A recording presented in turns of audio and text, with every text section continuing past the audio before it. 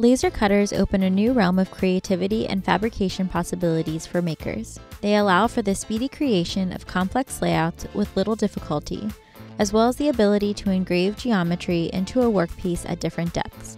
The purpose of this training is to show the most important safety procedures for these devices on campus to enable you to create amazing things. Before using a laser, there are a few things to remember.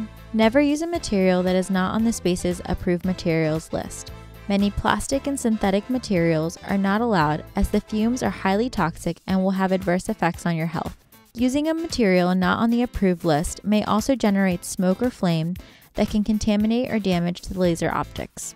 Most CO2 lasers, like the Universal VLS series, are not strong enough to cut through metal sheet, although they can engrave or mark some metals with certain coatings.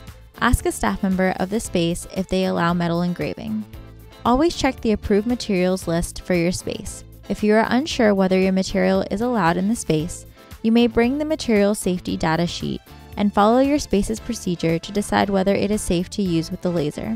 If you don't know what material you have, or if your material is not on the approved list, you will not be allowed to use it. Always ensure the ventilation system attached to your space's laser is running before operating it. This will prevent any harmful fumes or odors from entering your space during the laser cutting process. Before loading material, measure it properly with dial calipers. This information is used to set up the laser. When the laser is open and a part is being located, ensure there is nothing in the way of the laser's gantry while a jog is being performed. While the laser is moving, the only thing that should be in the laser cutter is the piece to be cut. If someone is arranging a part inside the laser cutter, do not try to operate the machine at the same time, or else you may harm the person who was arranging the material and the laser cutter. Never leave the laser unattended while it is in operation. When you have finished your part, make sure to remove all materials left in the laser. Do not attempt to perform maintenance, modify, or troubleshoot any part of the laser cutter. Ask a staff member for assistance instead. Never attempt to modify any safety interlocks or viewing windows on your space's laser. This will endanger yourself and everyone else in the space, as well as anyone who comes after you. While operating the laser cutter, small flashes of flame are normal, but any large flames that don't go out are unacceptable. These can lead to machine damage, your part being ruined, and in a worst case scenario, the flame spreading to other parts of the space.